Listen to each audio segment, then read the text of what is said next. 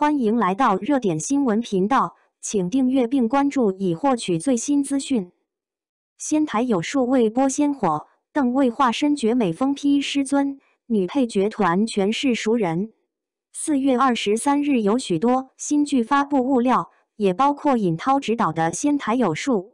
这部剧是邓为的首部男主剧，预告的质感挺不错。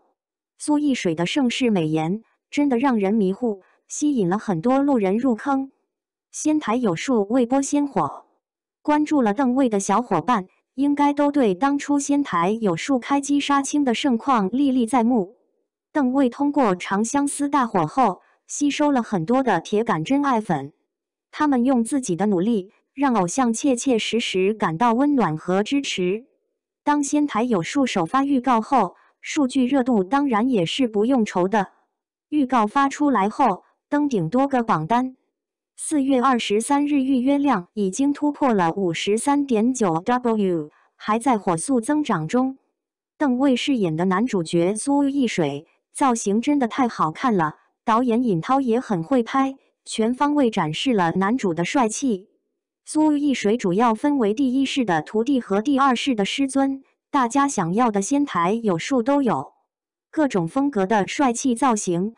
简直像是在看奇迹卫卫，而且每一套造型穿在邓卫的身上都是那么的好看，搭配他帅气的面容和高挑的身材，完美适配原著里的绝美师尊苏艺水。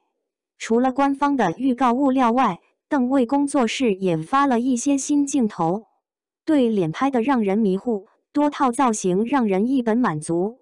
除了这次官宣的造型外，邓卫还有很多好看的造型等待放出来，比如这套疑似入魔的白发，扎着马尾，破碎感十足，当初也是吸引了很多人的神级造型。